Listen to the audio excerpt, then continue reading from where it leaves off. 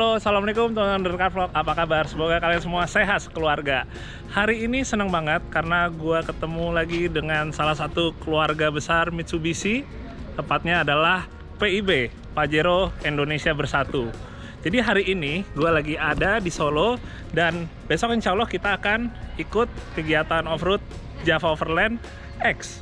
Kita akan muter dari Solo dan insya Allah akan finish di Bandung. Di belakang gue ini ada tiga buah Pajero Sport. Ini Pajero Sport adalah salah satu SUV yang paling gue favorit. Nggak cuma untuk dipakai harian aja, tapi buat off-road pun menurut gue ini sangat handal. Kalau untuk speed off-road, istilahnya udah merem, udah nggak menjadi satu hal yang baru dan wah buat gue. Tapi kalau buat dipakai off-road, terutama untuk adventure yang berat, ini baru luar biasa. Dan untuk pertama kalinya, gue melihat ada tiga buah Mitsubishi Pajero Sport dari tim Radicalm. Ini adalah tim dari Sidoarjo, berisi ada tiga buah mobil yang ikutan di Java Overland, semuanya Pajero Sport baru. Ini ada yang tahun 2017 dan 2018 dengan modifikasi yang kurang lebih semuanya hampir seragam. Kalau mungkin teman-teman lihat basic buat mobil off-road ekspedisi kayak misalnya Land Cruiser atau misalnya mobil-mobil kayak JK ya, Wrangler gitu, itu mungkin udah biasa. Tapi kalau misalnya kayak Pajero Sport gini, ini kayak menjadi satu hal yang kayaknya kalau nggak kita lihat, kita bahas bareng, kayaknya nyesel nanti ya. Jadi tiga buah Pajero Sport ini dimiliki sama anak muda. Nah, mantap. Dari muda udah sukanya off-road. Dan pilihannya, seleranya luar biasa nih ya. Yang pertama, yang sebelah sini, ini punya Mas Akbar. Terus yang ini punya Mas Yoga dan yang ujung ini punyanya Mas Putra. Jadi menurut gua pemilihan Pajero Sport ini sebenarnya adalah satu hal yang tricky juga, tapi sebenarnya kalau misalnya eksekusinya, secara modifikasinya dan yang pasti bawanya proper, ini bisa jadi mobil yang nikmat banget. Gue pengen lihat dulu dari eksteriornya teman-teman. Ini eksteriornya bikin seragam semua. Kayaknya nih liverinya khusus nih buat Java Overland. Jadi mobil ketiganya ini kalau kita lihat sekilas semua kayaknya wah takut gampang ketukar ya. Paling ngebedainnya kayak misalnya dari plat nomornya. Pembedanya dari situ aja sih. Kita lihat dulu untuk bagian depannya. Jadi ketiganya ini semua grillnya udah dicopot. Karena ini dipasang winch yang emang posisinya itu dia mesti ngorbanin grill. Mungkin sebenarnya agak lucu juga kalau tetap ada grill aslinya tapi dipotong gitu ya. Jadi ciri khasnya nggak bener-bener hilang. Nah, untuk winch-nya ini pakai 8274 ya, yang seri 70, tapi dia drumnya udah dimodif. Karena drum udah dimodif, jadi dia bisa pakai seling yang lebih panjang lagi. Dan ini selingnya udah diganti pakai seling yang plasma, teman-teman. Jadi bagian depan bumper custom, di sini masih modelnya semi bulbar. Terus ke bagian sininya udah model yang pipa-pipa dan terus nyambung semua sampai ke roll cage-nya. Jadi roll cage-nya ini karena dia di luar posisinya, jadi dia ikut melindungin juga untuk si bodi mobil ya. Dari misalnya ada bebatuan atau misalnya ada pohon di sini. Jadi mau mobil yang misalnya di Mas Putra ini atau yang di Mas Yoga atau yang Mas Akbar, itu semua roll cage-nya sama. Jadi kalau kita lihat desainnya bagian atasnya, dia juga ada yang pelindung kalau misalnya ada pohon ya jadi kalau pas lagi nyender gitu ini dia nih yang menjadi penjaga mobilnya. Terus kalau ngeliat ke atas juga dia itu segala macam parts udah ditaruh di roof rack. Di bagian depan gue lihat ada serep as roda bahkan ada serep winch juga di sini. Terus beberapa parts lain kunci-kunci semuanya lengkap. Tapi kalau ngomongin untuk roof rack atas ini ada yang unik teman-teman. Kalau di mobilnya Mas Putra ini dia itu ada tangki yang isinya air bersih. Air bersihnya ngaksesnya di sini. Jadi ini katanya emang air minum? Semoga udah bener nih di si air minum nih. Takutnya masih air mentah. Ini revolusioner banget nih ini nih. Jadi kita kalau lagi istilahnya berhenti bentar butuh kayak air apa aksesnya gampang banget. Baik lagi ke bagian depan. Jadi tadi itu winch-nya itu sama semua kayak misalnya di mobilnya Mas Akbar juga pakai 8274 dan di mobil Mas Yoga ini dia pakai yang M40 ya, yang seri lama nih, yang tahun 90-an. Dan dia posisinya lumayan unik, karena dia posisinya agak ke atas dan dibikin ngedongak ke depan. Nah, selain itu, ketiga mobil ini, kalau misalnya gue lihat spesifikasinya emang bener-bener untuk off-road berat banget ya atau ekspedisi. Karena dia ada sling yang udah diikat ke gardan, supaya jadi kalau ketemu lumpur yang dalam, ya udah. Si bagian seling ini aja yang akan kita pakai buat narik jadi double line yang tarik ke sini. Yang diangkat jadi adalah gardan ya teman-teman.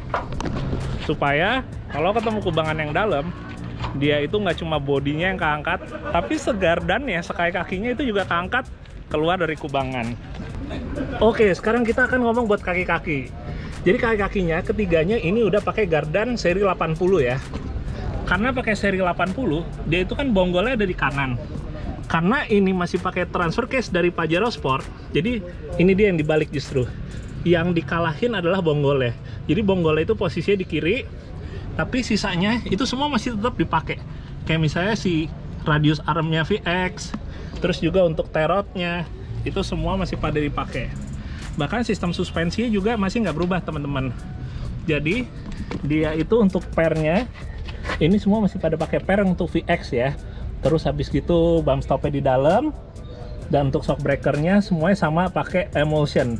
Kalau yang ini pakai Fox untuk yang di sini pakai Bilstein terus juga satu lagi untuk yang mobil Mas Akbar dia pakai shocknya Provender yang ini tapi ada reservoirnya ya. Jadi selain pakai gardan bawaan dari seri 80 ini buat final gearnya juga tetap pakai final gear bawaannya yaitu satu banding 411 itu sebenarnya high banget kalau kita nggak pakainya di Pajero Sport.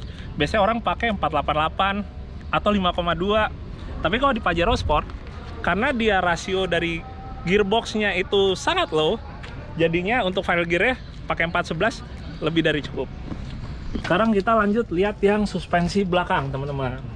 Jadi sama ya pakai gardannya juga pakai gardan seri 80 Land Cruiser.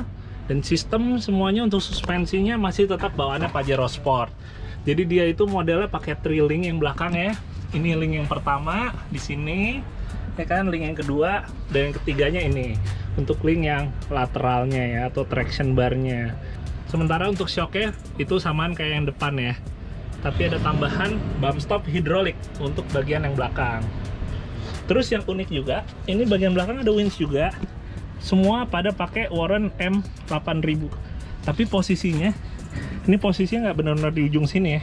Dia agak dibikin lebih masuk ke bagian dalam sini. Karena katanya pengalamannya kalau ditaruh di bagian ujung sini udah berapa kali suka pada kena. Winchnya kena sini ya udah akhirnya di bengkel radikalem itu dibikin arahnya dia lebih ke dalam lagi untuk posisinya. Sekarang kita lihat dulu untuk bannya teman-teman.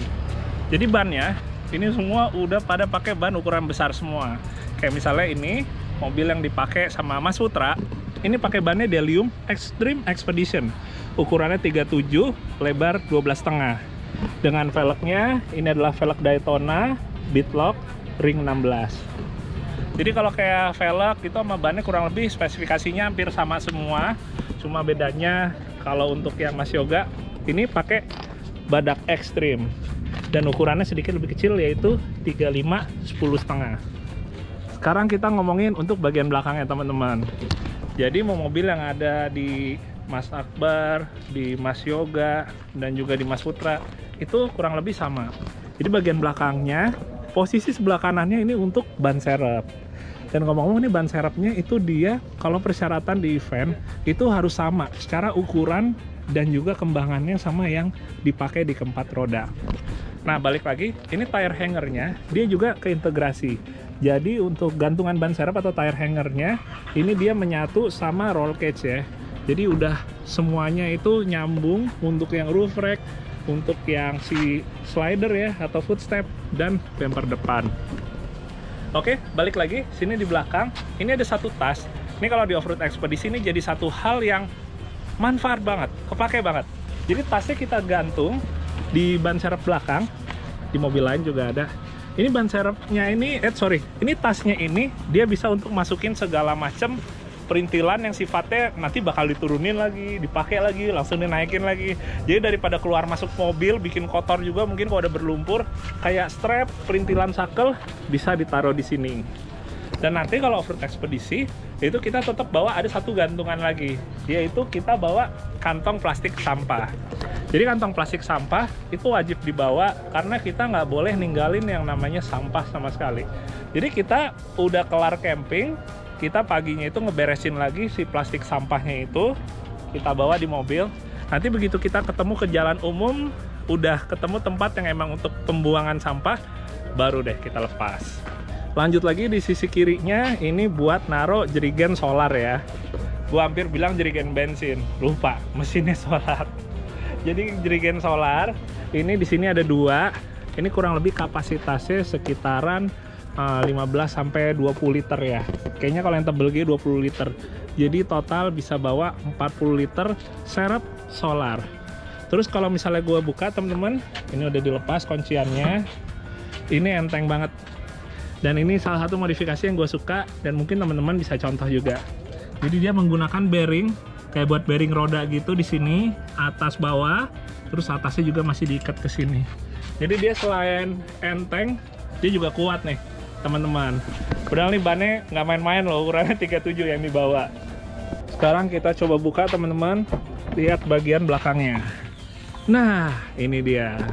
Ini gue suka ada lacinya di bawah. Ini custom made juga di bengkel Radical. Jadi ini fungsional banget. Kita coba buka teman-teman. Kunciannya dua buah ini aja. Terus kita tinggal tarik keluar. Nah modelnya pakai kayak ginian nih ini fungsional banget. Dan ini panjang ya terus sampai ke sana. Jadi semua yang dibawa nih lagi off-road ekspedisi final gear ini wajib dibawa. Ada as roda juga gemuk solenoid twins oli teman-teman yang lain semua ada di sini. Ini juga termasuk untuk yang bagian kanan ya teman-teman. Terus bagian atas ini untuk urusan yang lebih enteng ya. Jadi teorinya gitu teman-teman. Kalau mau efisien yang berat itu ditaruh di bawah. Buat yang di bagian atas itu buat hal yang lebih ringan lagi. Jadi kalau sesuatu yang udah lebih ringan kayak buat alat masak apa itu udah mulai taruh di sini. Sementara yang di bawah tadi ini kayak spare part ya. Urusan yang besi-besi yang pelumas-pelumas itu posisinya ada di bawah sini. Cukup fungsional. Uh, bukan karpetnya maksudnya ininya lacinya. Sekarang kita ngomongin buat mesinnya jadi teman-teman tahu kan kalau yang Dakar itu kan dia pakai mesin yang 4N15 asli kurang lebih 180 HP torsinya 430 Nm. Di mobil ini yang ada di tim Radicalm ini semuanya juga masih pakai mesin 4N15 mesinnya sebenarnya relatif masih standar teman-teman. Seperti ini misalnya di mobil Mas Yoga ini mesinnya ini relatif masih standar karena emang lebih dari cukup. Palingan dimodifikasinya itu untuk downpipe dan juga headernya.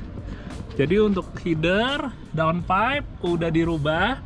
Nah terus selain itu paling yang diubah itu adalah untuk alternator ya teman-teman. Oke sana di bawah sana alternatornya. Alternator dirubah jadi 140 ampere Sementara untuk akinya ini juga udah didobel semua ya di tiap mobil. Kayak misalnya di mobil punyanya Mas Yoga ini, ini udah pakai aki tambahan yang aki kering, masing-masing itu 80 ampere. Nah, terus ketiga mesin di mobil ini semuanya itu modifikasinya relatif sama semua. Kecuali bedanya untuk di Pajero Sportnya Mas Akbar ini yang menggunakan intercooler tambahan.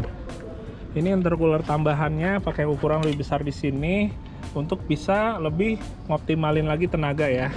Uh, intinya pasokan udara yang masuk ke turbonya itu dia lebih dingin lagi dan lebih optimal lagi untuk tenaganya. Oke sekarang sebelum kita ngelihat kabin bagian depannya gue pengen lihat dulu kabin bagian belakangnya. Wah ini barang-barangnya emang masih pada penuh semua belum diberesin. Jadi pada intinya ini semua masih kondisinya bisa ngebawa lima orang ya tiga di belakang ya pastinya dua di depan. Ini ada cargo barrier juga teman-teman. Ini jadi salah satu perangkat yang uh, wajib juga sebenarnya kalau kita ada barang-barang yang sifatnya nggak dimasukin ke dalam kotak ya atau laci. Ini juga ada beberapa helm di sini. Ini bukan helm untuk kompetisi, ini kayak helm sepeda atau helm skateboard gitu yang fungsinya sebenarnya kalau misalnya kru lagi ada di dalam trek, terutama di medan yang berat, di sangat disarankan menggunakan helm. Itu dia helmnya. Ini kenapa? kenapa helm lucu-lucu banget sih? Sekarang kita lihat ke bagian depan ya teman-teman. Oke, Bismillah. Assalamualaikum. Wah, masih dalam. Benar-benar rasanya emang lagi ada di mobil Pajero Sport standar aja ya. Soalnya ya udah eh, kan nggak ada roll cage di dalam, Eh, roll cage-nya kan di luar. Terus semuanya relatif di bagian dashboard ini ya udah standar tuh. ya udah kayak lagi nyetir biasa aja. Paling bedanya ini ada tambahan eh, kotak di sini untuk segala macam switch ya atau untuk eh, panel tambahan aksesoris. Terus juga untuk layoutnya nggak ada yang dirubah sama sekali, jadi masih nyaman. Paling ini tambahan untuk lockernya aja. Tadi yang lupa gue infoin, ketiga mobil ini semuanya menggunakan ARB air locker. Jadi ada untuk aktivasinya ya, nyalain kompresor. Ini untuk yang belakang lockernya, ini untuk locker yang depan. Kita matiin dulu. Terus selain itu eh, seat belt kan juga ya udah kalau ekspedisi pakai yang standar aja tiga titik itu udah boleh kan bukan lagi balap ya kalau lagi balap kan minimal harus 4 titik Nih coba kita ngintip sebentar nih. Ini yang Pajero Sportnya Mas Putra. Tuh sama semua teman-teman. Nggak ada yang merubah masih full standar semua. Oh ya ini paling di atas sini dia ada monolever ya atau ada eh, switch nih untuk nge majuin atau menarik si sling winch jadi dari sini nih kita kalau untuk nge-winchnya udah yang lain standar. Door trimnya juga masih standar karpet-karpet aslinya masih ada semuanya paling karpet tambahan aja nih di sini jadi ya udah kalau lagi di dalam ya nggak nyangka ya begitu kita ngeliat keluar mobilnya ternyata seradikal ini kita dibantu Om Japung nih di sini dari tim Radikalem yang akan coba nyalain mesin. Wah. Oke. Ini yang mobilnya Mas Akbar, posisi udah dinyalain. Kita coba ke belakang buat dengar. Gas ya Om. Sip.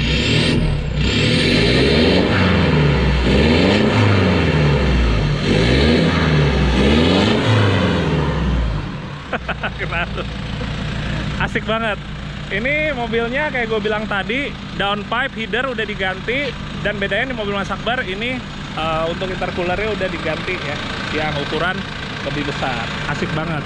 Terima kasih Om Japung. Terima kasih. Oke teman-teman, sekian dulu untuk video reviewnya kali ini Pajero Sport Merlik Radicalm. Nah sebelumnya kalau ada yang penasaran Radicalm itu apa? Gua kira itu maksudnya adalah radikal. Mungkin radikal dan kalem ya di saat yang bersamaan. Tapi ternyata enggak. Radikalem itu ternyata diambil dari bahasa Jawa ya, radi dan kalem yang artinya agak kalem. Padahal nggak ada yang kalem dari ketiga mobil ini. Kita dikerjain semua. Dan sebelum penutupan, gue mau samperin dulu nih teman-teman dari Radikalem. Ini para generasi mudanya di sini nih. Wah, terima kasih nih udah boleh nge-review mobilnya. Selamat off-road. You, Semoga Mas lancar JJ. semuanya. Makasih Om JJ. Sama-sama, sama-sama. Kita ketemu lagi nanti di dalam track ya. Sukses, sehat-sehat semua. Oke teman-teman, sekian dulu. Terima kasih yang udah nonton. Sehat-sehat juga buat kalian dan keluarga ya. Sampai ketemu lagi di video The Car Vlog yang berikutnya. Dadah, Assalamualaikum.